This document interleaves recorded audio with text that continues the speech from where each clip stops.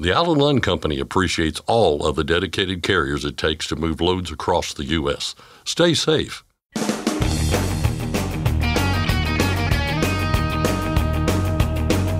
OOIDA, representing America's truckers since 1973, presents Landline Now with your host, Mark Reddig.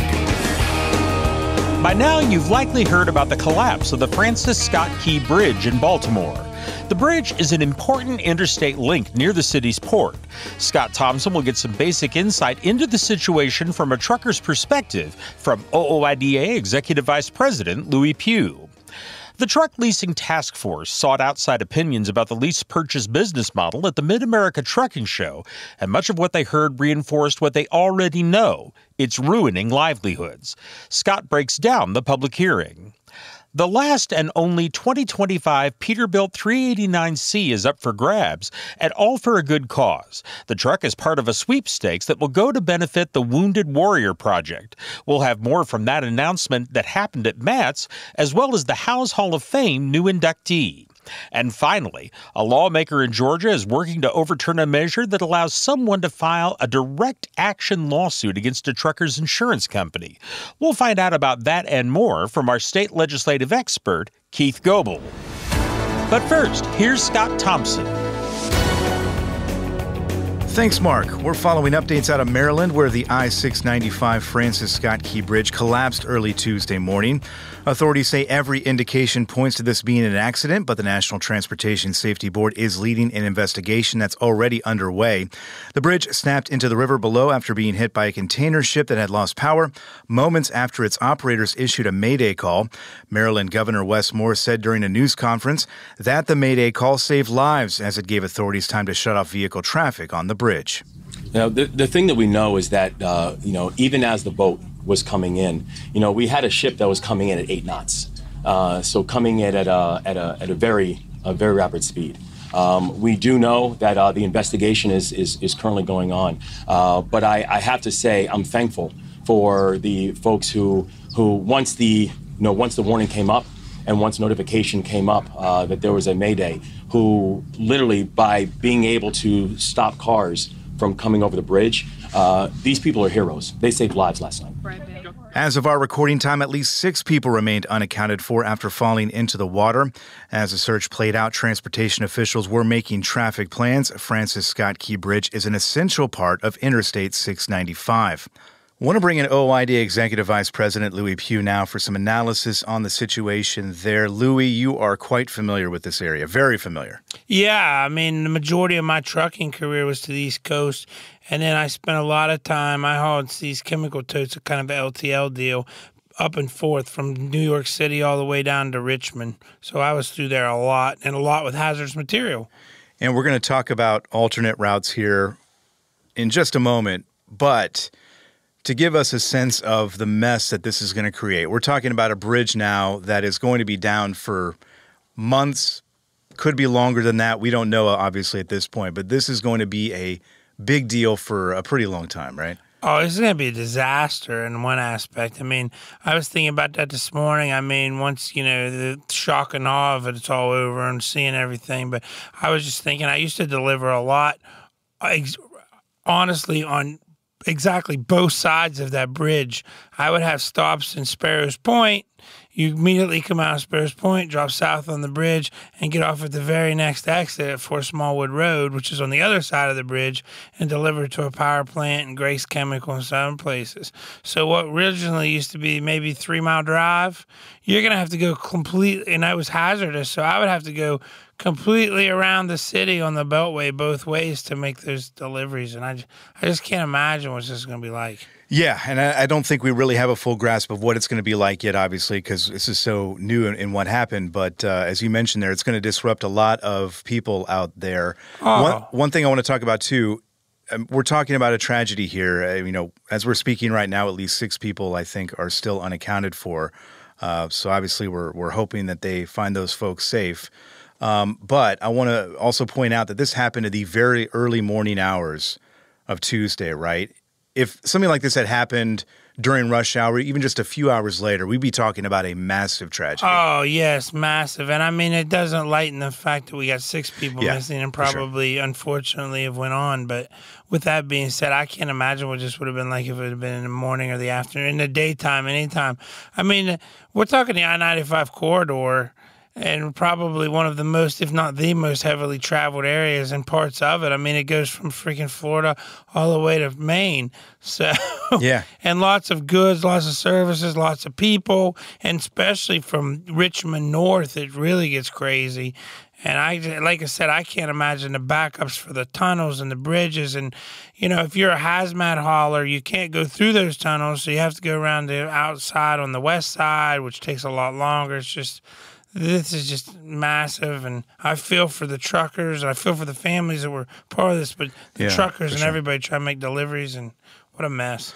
Let's talk about what this is going to look like for the people who have to navigate around this situation there. And you've been talking, I believe, with the Federal Highway Administration, giving them some feedback and some tips about where people should maybe be looking to go. Yeah, in fact, it was the freight, whatever they call their freight arm of Federal Highway. People overlook the movement of freight Yeah, and goods, yeah. and we were talking about that first thing. That's after a little bit ago. In fact, they called, reached out for just OOIDA's take, what our members are doing, and I pointed out, I said, well, a lot of people probably, if you run out there a lot like I did, you know other ways to go, and people don't. But I mean, right now they're pushing everybody through the tunnel on 95 or 895.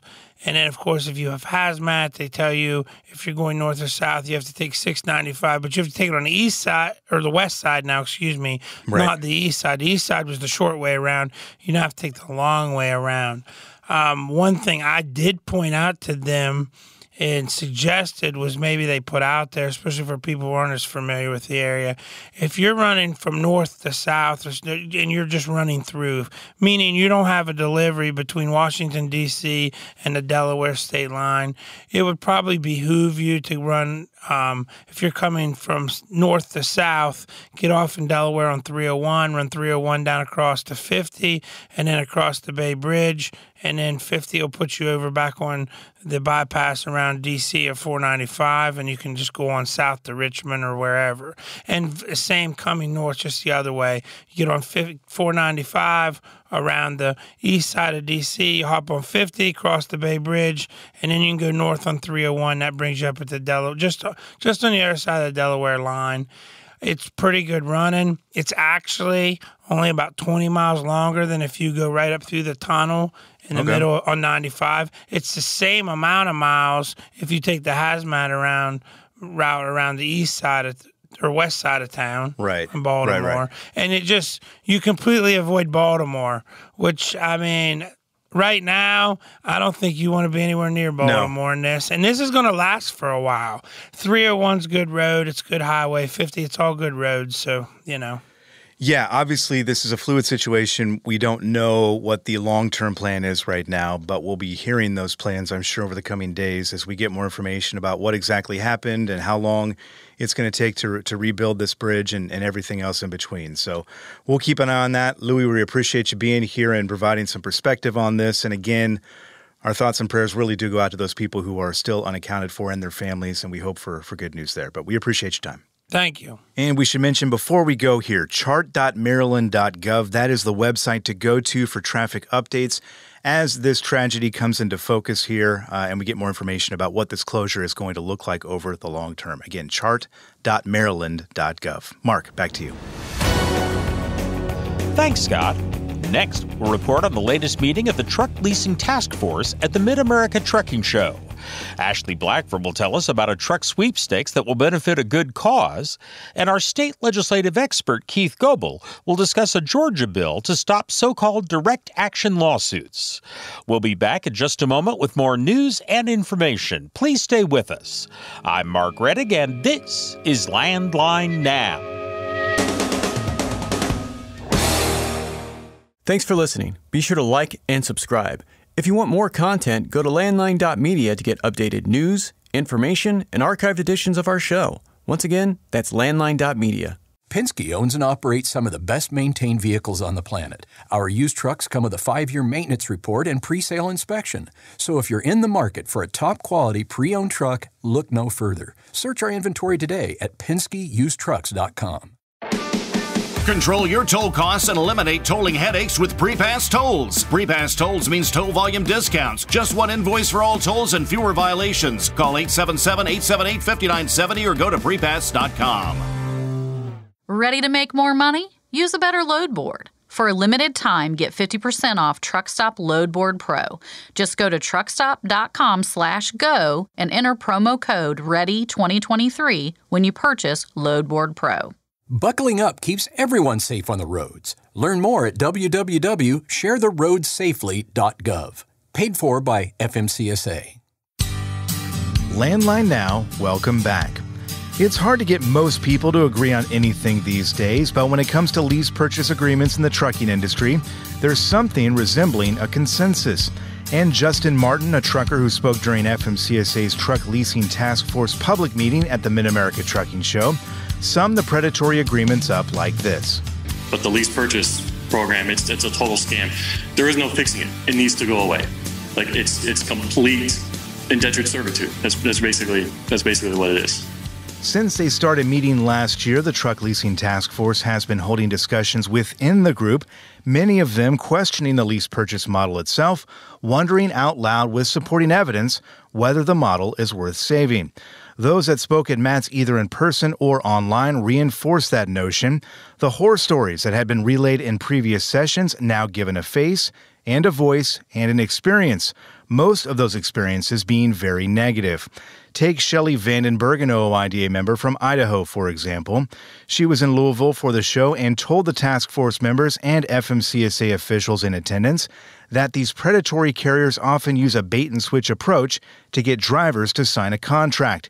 She says her experience started in 2018 when she and her husband entered into a lease purchase agreement.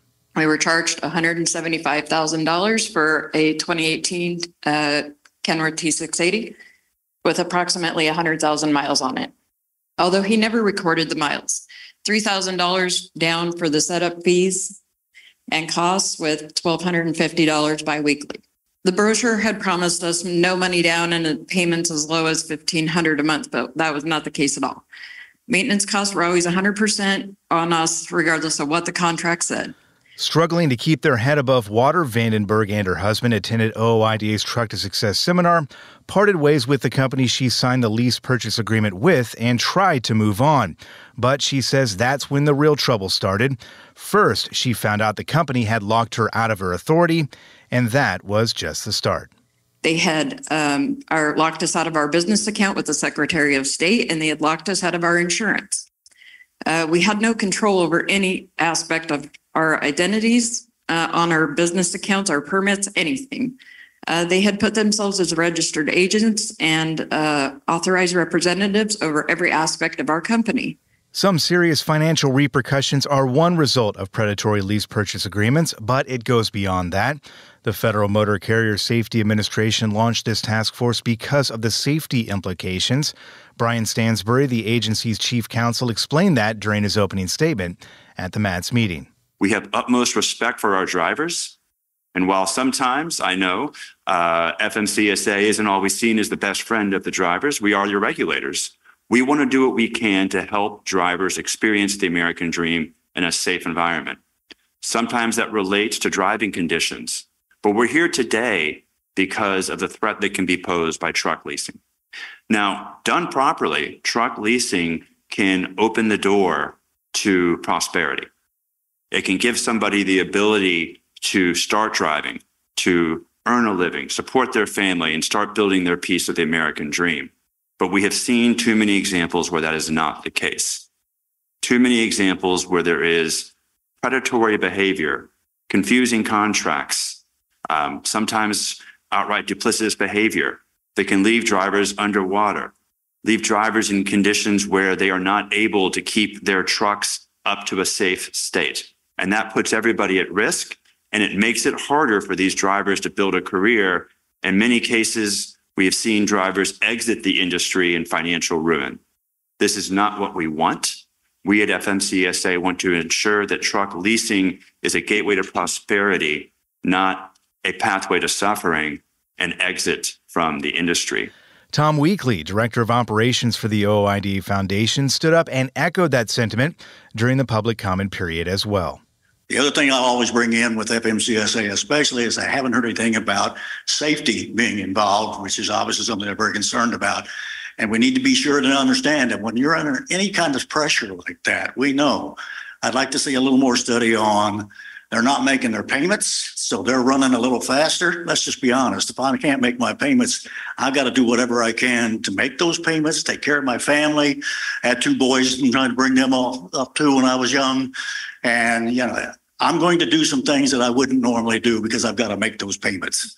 So I think we need to expand that a little bit more into the safety situation. And I was never in a lease purchase program. I was offered that on all several times. And let me tell you, they can sell it. When they come in there and the man says to me, or the recruiter says to me, or the vice president, and the president of the company comes in and he was a um, hardworking man himself earning his truck, and he's just like us. And I'm I'm going to hear for you. And you know, we have an open door policy. If You have any problems, you just come in and talk to me because I too came up this way. So I believe in you. I support you 100%. That's pretty hard not to buy into. So, you know, you do, and so you realize that's just not the way it works. So, getting back to where we started, there was widespread agreement throughout the public hearing at MATS about the nature of the problem. The Truck Leasing Task Force's job, however, isn't just to point out the problems, a job they're doing quite well. It's also to come up with possible solutions. And while truck drivers like Justin Martin or even Shelley Vandenberg might argue that there is no saving it, that there is no fixing it, the discussions about how you might do that continue. Paul Cullen Jr., a task force member with the Cullen Law Firm, suggested eliminating the model where motor carriers are the ones that loan the truck to the driver. The one concept that I'd like to keep on the table uh, for our discussions and our recommendations uh, is the idea that no motor carrier should own the debt of a driver. When a motor carrier owns the debt of a driver, and actually, I'll mention this in a moment, is constantly creating the debt of the driver, and they are able to do that by by dint of the a le- truth in leasing uh, a um, lease purchase agreement. They have supreme control over the driver, and this goes to the controlling the driver's finances, how they operate on the road, whether they're pressured to drive when they are tired, for for example, or sick, and how or when they repair their truck. How my, the question I have is how can motor carriers uh, most often what why can drivers uh, individuals why can they not get truck lease trucks from traditional leasing companies like Joshua's there and I believe we've heard testimony that the reason is that um, drivers who cannot get um, traditional uh, loans or lease agreements are, uh, are they cannot be underwritten. The the the standards of the those organizations, those lending organizations, doesn't reach the individuals who are typically caught up in uh, these truck leasing uh, programs. So, how can carriers provide leases to drivers that traditional lending companies cannot.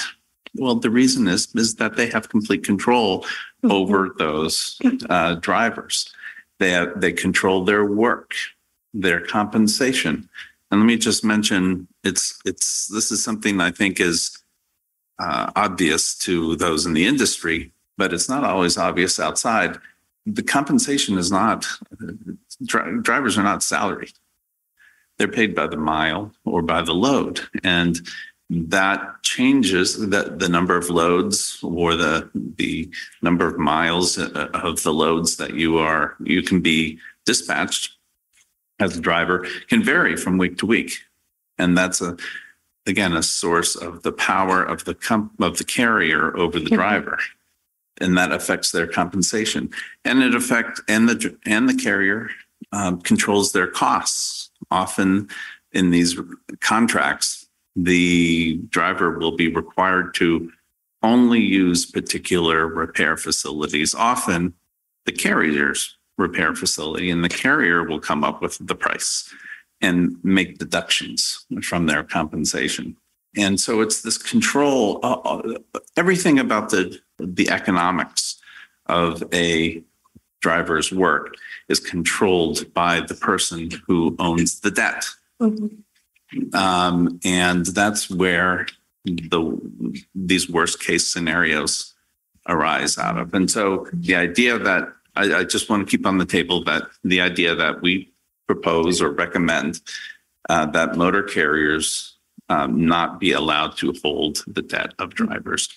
If it's if lease purchases are a useful um, tool and drivers are a good risk, individuals are a good risk, then the traditional uh, leasing uh, uh, companies and truck finance companies will take care of them. Now, to be fair, not all lease purchase agreements are predatory. Some have pointed to success stories using them as a reason for keeping the model, but tweaking it where it needs tweaking. Clifford Lawrence Peterson, currently a company driver, has been trucking for 25 years. He told the group he's been a lease purchase driver for 17 of those years. I have been in nine different lease purchase programs with nine different companies. And out of the nine, two, two companies, I actually built equity and became successful as an owner operator. Not a very high success rate, which Peterson later acknowledged. I'm a Marine veteran. I have no quit in me. so I kept trying and kept trying. I finally found two that I've been privileged to be with that I was successful at.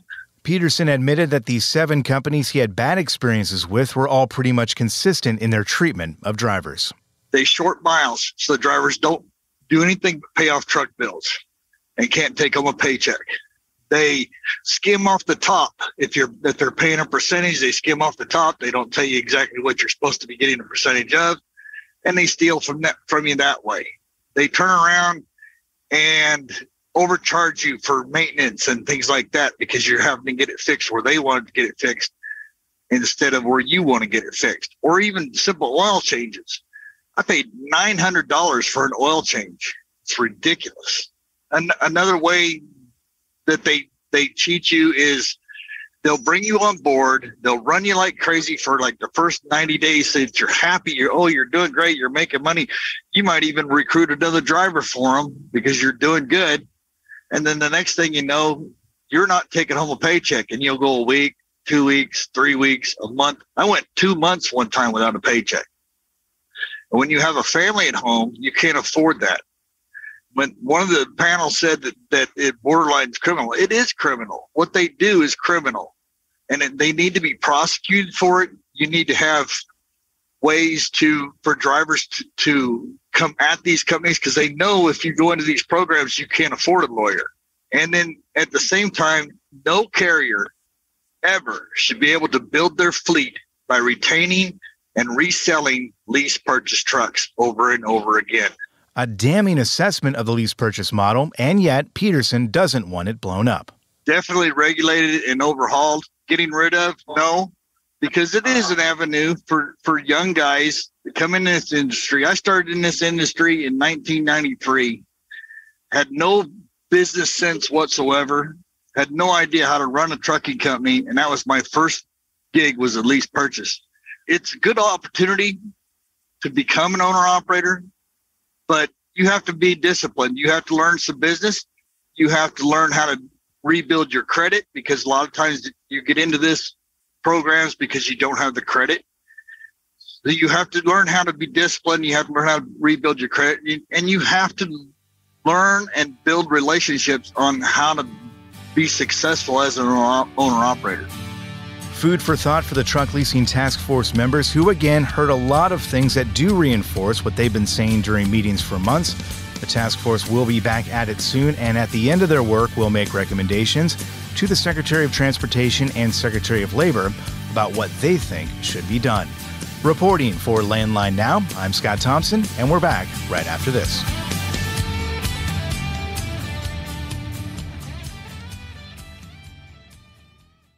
Are you tired of the IRS following you around like a dark cloud? Call 888 557 4020 and get your life back.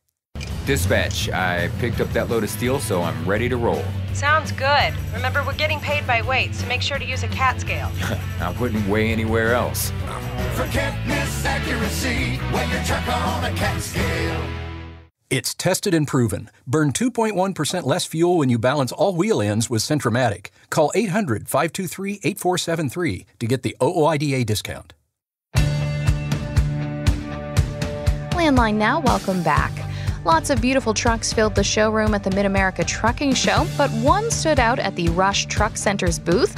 Rush Enterprises Inc., in conjunction with Rush Enterprises Foundation, announced at MATS that it would be doing a special sweepstakes for the chance to win the last and only 2025 Peterbilt Model 389C ever produced. The money raised will go to benefit the Wounded Warrior Project. Jake Narotsky is the spokesperson for the project. I talked to him at the show about the announcement. And talk to me about what you're up to today.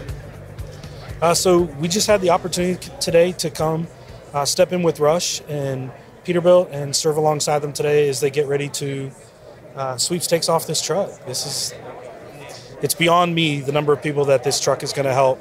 Uh, just because other people want to be generous with their time and and and help out with it. Now you shared a little bit of your story. I'm going to ask you to do that again, just just briefly. Um, talk to me about your background and how you got involved with the Wounded Warrior Project. Yeah, so uh, spent 14 years in the United States Army. I was a crew chief on the UH-60 Blackhawks, and uh, I just had the opportunity to serve over in Iraq in multiple tours. Uh, and you know, getting out of the military and facing all the challenges that go with getting out, as well as facing the injuries that I had been hiding over the years. Um, because you want to serve, you want to stay, you want to stay active. Uh, when that time came, it was kind of a flood. It was a, uh, a, flood in my head and a flood in my body. And so when I left the military, it was it was a lot. Uh, it was facing the the physical and the mental tolls of 14 years of of being on the front lines and coming home to my family. I didn't realize at the time, but I was bringing that front line home to them. I was literally parking it in my house, and so now my wife and my kids and everybody that I encounter um, is is dealing with that as well. And so, thank heavens for Wounded Warrior Project. My wife reached out to them and, and asked them for help. Literally, just hey, help. My husband needs help, and right away they came alongside us and swooped us right up. And um, my wife got help that she needed. I got the help that I needed. Our kids have gotten the help they needed. And, uh, if it wasn't for Wounded Warrior Project, uh, I, I, wouldn't be with my family. If it wasn't for Wounded Warrior Project, I wouldn't have the opportunities I have now and uh, be able to step into my own purpose and, and, find out what life had for me. And so I'm super appreciative of that and just humbled for the opportunity to travel and share my story. And not just share my stories, but share the story of so many warriors all over our country and just keep those memories and keep those thoughts alive. What would you say to um, you know a fellow fellow uh, military member who's who's listening to this and, and thinking that they're struggling but they don't know how to ask for help? Wow, what a great question. Like myself and for so many other warriors, we know something's wrong. We know that something hurts and we know that something's off, but we don't even we don't even know what help we need. Um, and so, really, guys, just make a phone call. Just make a phone. Go to woundedwarriorproject.org um, call the resource center, reach out to a friend, and just begin the conversation. In that conversation, you'll begin to open the doors and open the thoughts of, hey, man, this is what's really going on. Hey, I'm not all alone by myself. Because the fact is that so many of us think we're an island in the middle of the ocean. So many of us can stand in a room full of people and think we're the only person, and you just feel you feel so alone. And the fact is that you're not alone, and the fact is also that you are seen. And so reaching out and just saying, hey, what's what's out there and starting that conversation is so important and even more important than that i'll say this is that so often the warrior won't reach out for help but it's so important for us if we have a brother a sister a mom a dad a, a son a daughter a friend that is going through this be the one that steps forward and says hey i'm going to be the one i'm going to lay down my life to the side for a second and make it all about you. I'm going to step in and walk alongside with you in this. Um, that's what's that's what's important. We have to grab each other and do this together. What does it mean for um, all the people who've come together to to do this this truck, this sweepstakes, um, to to go to support this project? You know, like I said in my speech earlier, that night in Iraq, when our helicopter was under fire and we were using it to draw away the attention so we could pull our wounded back. We didn't know what to do, but we knew we had to do something. And so we did what we could that night. And it's so amazing that so many others now we don't all know what to do and we can't we can't save everybody we can't do everything but we can do something and so somebody might come up here and to them it's $50 it's a sweepstake entry no that's $50 that's going to help a warrior somewhere it's going to change a life. It's going to change a family. It's going to bring a family back together again. And so um, really it's everybody here making that making that decision. Um, hey i'm going to step on the front lines now. I'm going to stand side by side. That's really important because it takes it takes a, everybody. That was Jake Narotsky with the Wounded Warrior Project. I also spoke with Gary Willis, who is the president of marketing and communications for Rush Enterprises. Talk to me about what's going on today. Yeah, so we're really excited. You know, we're uh, giving away the last uh, Peterbilt 389 and the only model year 2025 uh, 389. Uh, and that's a really special truck, and we want to do something special with it, right? So we decided to partner with the Wounded Warrior Project to do a sweepstakes. And so between now and September 15th of this year, uh, we are uh, taking, taking donations at winthelast389.com, um, of $50 or more.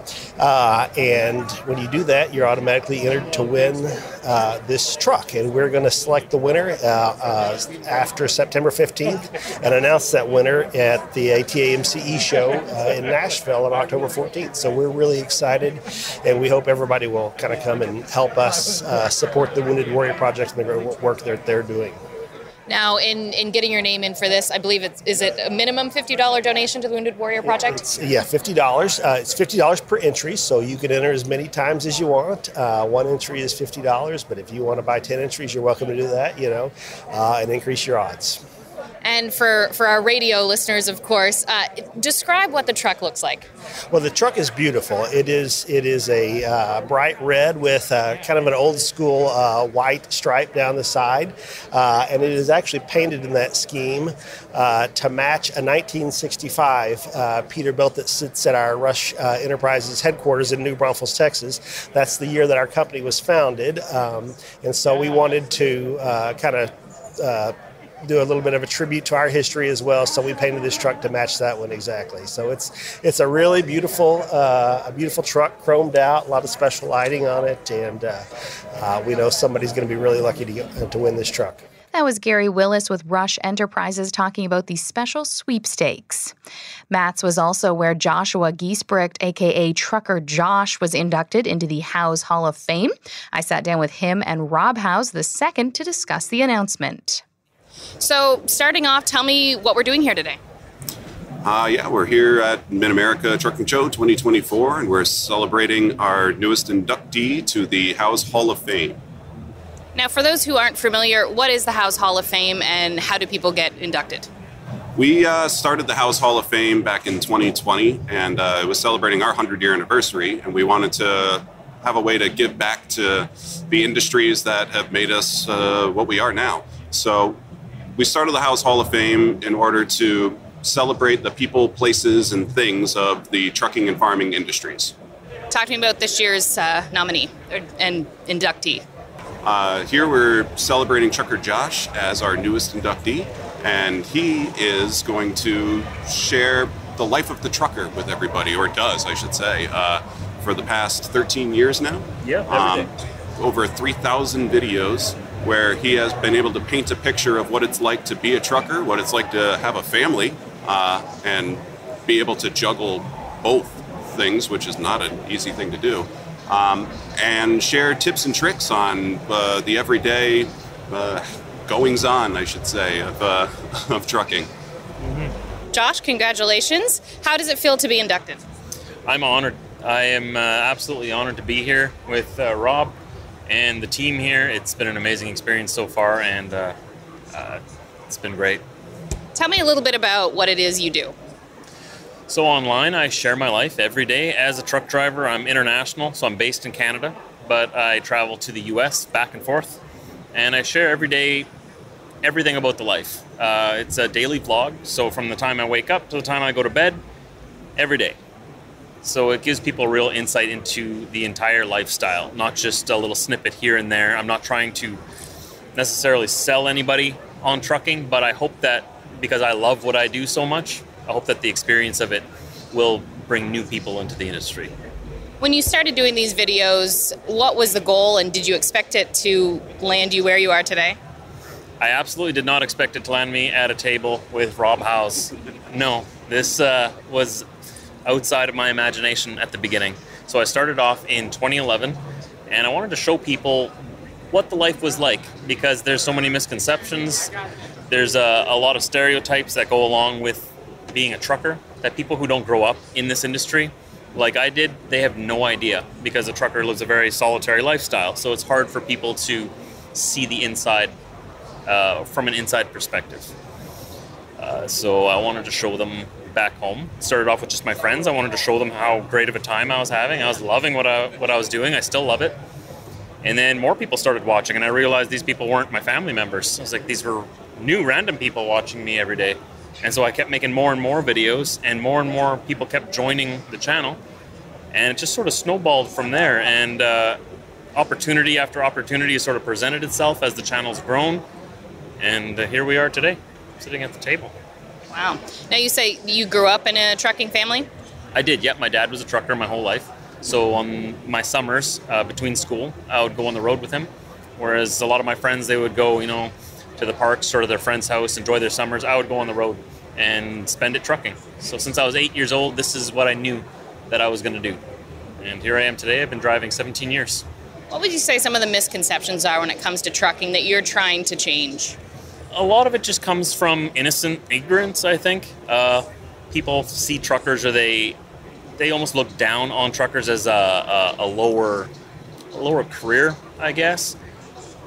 They are dehumanized sometimes on the road. You know, we're big, we're heavy, we're slow, we're in everybody's way, and we know that.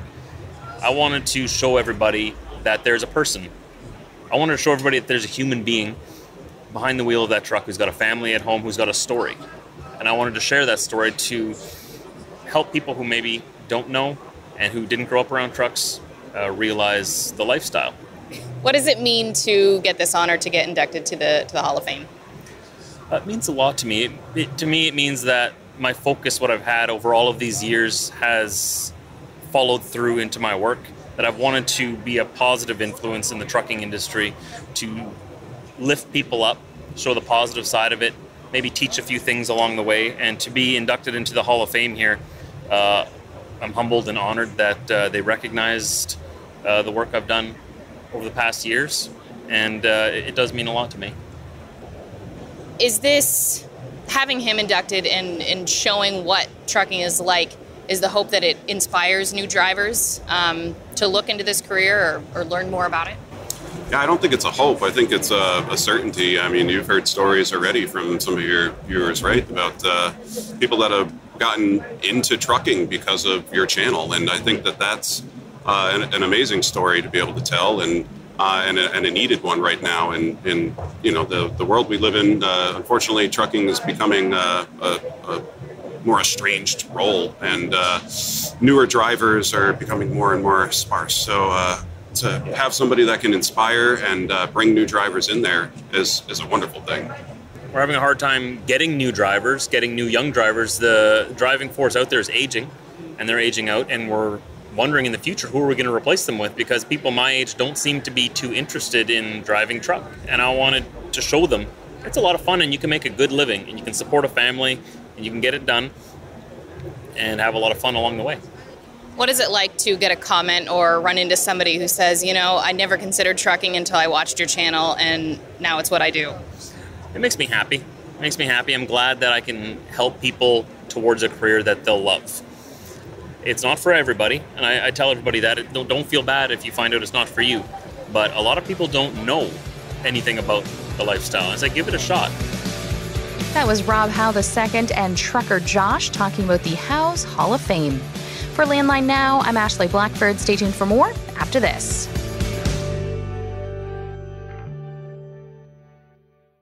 Capital Reman, your leader in remanufactured diesel engines and components, is celebrating its 10th anniversary. Let us help you avoid costly downtime and repairs by visiting capitalreman.com today. Use code OOIDA10 to receive your member benefits. Stock up on Howes Diesel Treat, the nation's most trusted anti-gel. And to be safe from the harshest winter conditions, make sure you have Howes Diesel Lifeline on hand, the fastest acting gelling rescue product. Available nationwide, Howes products are designed to keep you rolling through the toughest conditions. Visit howesproducts.com. Attention professional drivers, are you behind on your tax filings? You owe money? Integrity Tax Relief Group frees drivers from IRS trouble. You watch the road, we'll keep an eye on the IRS. Call now 855 976 4291. Since you started, what you've loved about trucking is the freedom. Heading out on your favorite route, a good driving song, and thinking about truck insurance. Well, maybe not that last one. That's why we're here. At OOIDA, we have a full range of truck insurance products, expert advice, and great customer service, helping you get the right coverage for your operation. Go to OOIDA.com because your job is to drive. Our job is to help with everything else. Welcome back to the home stretch of our show today. Scott Thompson here, joined in Studio A by Keith Goble of Landline Magazine to go over some of the latest legislative news on the state level, and we've got a lot of ground to cover. So we'll get right to it. Keith, how are you? Scott, doing well. You know, we've actually got a lot of good ground to cover. I think. Yeah. You, you might prove me wrong, but I, I think I think we got some positive news here. Well, you've uh, you've set us up for for failure and disappointment here, but we'll see how we do, Keith. Uh, we're going to start in Georgia, a state that employs a so-called direct action rule for truck drivers. There is an effort underway to repeal it, but first we should, I think, start with the rule itself because I'm not sure it's something that uh, gets talked about very often. Uh, so let's talk about the direct action rule that Georgia has. What is it?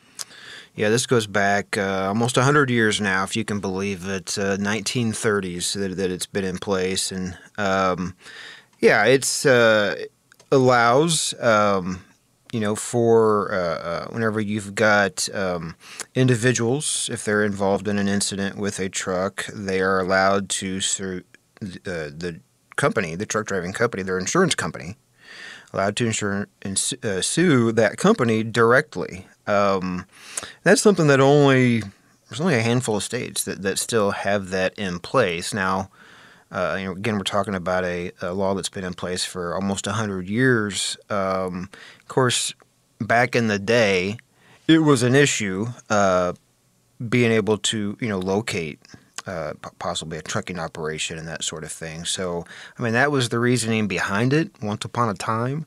But almost all states, if they did have a rule similar to Georgia, uh, they got rid of it as you know things have become more modernized. Uh, but they haven't done that in Georgia. So anyway, this legislation is an attempt to join just about every other state in the country with. Um, you know, uh, putting in place some limits on the, what the lawsuits, you know, filed by individuals uh, if they're injured in a truck-related crash, uh, they wouldn't be able to go directly to Uh, uh, the insurance company to, uh, to file file action. Yeah, and you said off the top here we're going to cover cover some positive ground today. That would imply that this currently has negative implications on truck drivers, right? So the the idea yeah. here is that it is uh, affecting them negatively because essentially people are going around the process to make it difficult for them. Yeah, certainly does not make for a business-friendly environment there in Georgia, uh, and which is the concern uh, you know, for for trucking operations there, and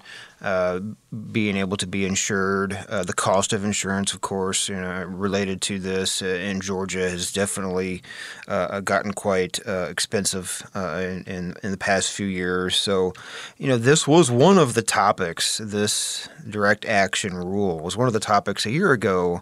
Uh, there was a special panel of, leg- of lawmakers that was created to look into truck issues, trying to improve uh, uh, trucking operations and and um, there in the state. And this was one of the leading um, points that was that was brought up that needed to be addressed. And and um, you know it was introduced. Um, the Senate approved it. it, moved its way over to the House. The House voted unanimously uh, to forward this on to the governor's desk. Uh, worth noting that the lieutenant governor is in favor of this change and advocated for it along the way. So at this point, the expectation is not if it will be signed into law, it is a matter of when it will be signed into law.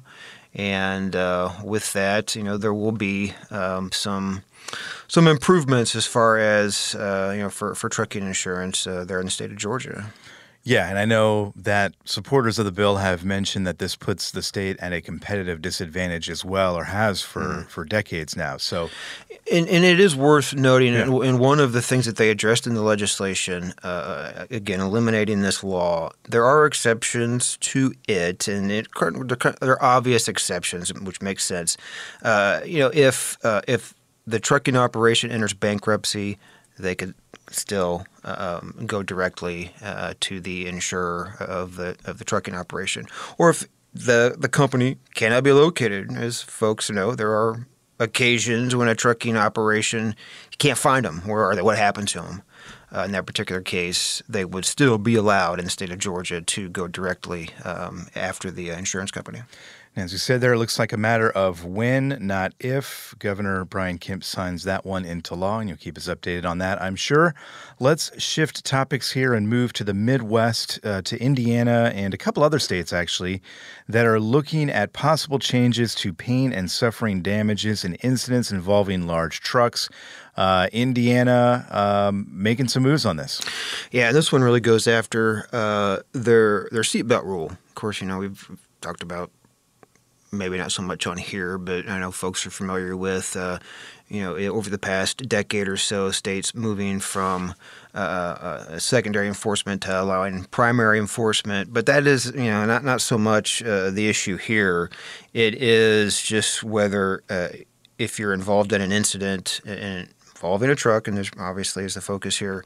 Um, in the past, Indiana law has prohibited seatbelt information from being made available to juries. It's not something that would be entered into uh, evidence is whenever they're trying to decide, um, uh, you know, responsibility or um, you know liability.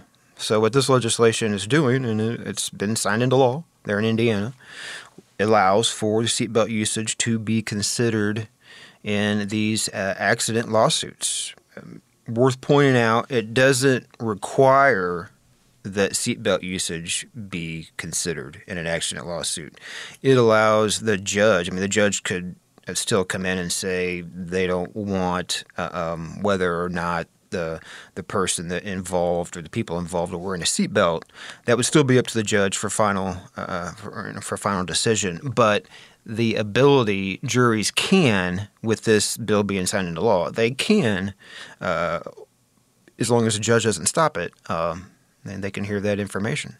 And again, that's important because if you've got an incident between a commercial truck and a passenger vehicle, and the person in the passenger vehicle was injured, uh, was not wearing a seatbelt, that Mhm. obviously could uh, be factored in Oh, yeah, when absolutely. It should. considering You would damages. think. Yeah, you would think so. So Indiana, uh, that will be the law of the land there, uh, moving from uh, I think July 1st is when that takes effect there. So we'll uh, circle that on our calendars there. Let's move on to Wisconsin, also making moves with regard to pain and suffering. Yeah, they sent a bill uh, to the governor there as well, um, limit, limiting the total amount of non-economic damages. So you know, pain and suffering type damages, but it would limit the total amount of those damages that a person could recover from a trucking company. Um, specifically, we're talking about a one million dollar cap. Um, now, this does not limit direct damages like medical expenses. This is focused on those pain and suffering uh, type damages, but but something that they, they have not had in place there in Wisconsin, and the belief being that um, uh, this is getting more and more out of hand uh, here in recent years, and it's really becoming problematic for uh, for insurance rates for trucking operations. Um, you know, and then you even the effect that it has on the supply chain. Uh, whenever you again have what can be some very uh, significant uh, uh, damages as far as um, again uh, pain and suffering type damages. Let's squeeze one more state in here, Keith, with a little bit of time to go. Illinois, what's going on there? Yeah, in Illinois, uh, legislation not as not as far along uh, as the ones we've been talking about, but um, you know, a year ago, uh, a law was signed in Illinois that permits judges to grant unlimited non-economic uh, damages in wrongful death lawsuits. This legislation, it's originating out of the Illinois House, would remove that provision uh, in statute and um, and in, in effect uh, permit um, unlimited uh, pain and suffering damages. So, looking to cap that at at uh, a maximum of two million dollars. You promised positivity, Keith, and you brought it. We appreciate it. We'll see you next time. Hey, yeah, thanks for having me. And that is our show for today. We've got another one coming up soon. But in the meantime, check out landline.media for all the latest news coming out of the trucking industry. We do thank you for listening to Landline Now. We appreciate all your time, and we'll see you around next time. Thanks for listening. Be sure to like and subscribe. If you want more content, go to landline.media to get updated news, information, and archived editions of our show. Once again, that's landline.media. I'm a dad, a son, a husband, wife, I'm a writer, photographer. I farm. I'm a veteran. I love old cars, fishing, my kids, Chrome, and I am. I am. I am a professional truck driver. And, and together, we are OOIDA.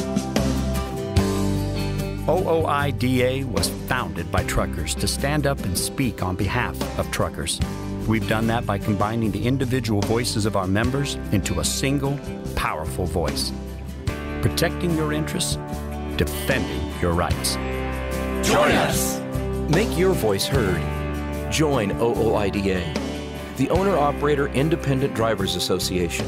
Call 1 800 444 5791 or visit OOIDA.com.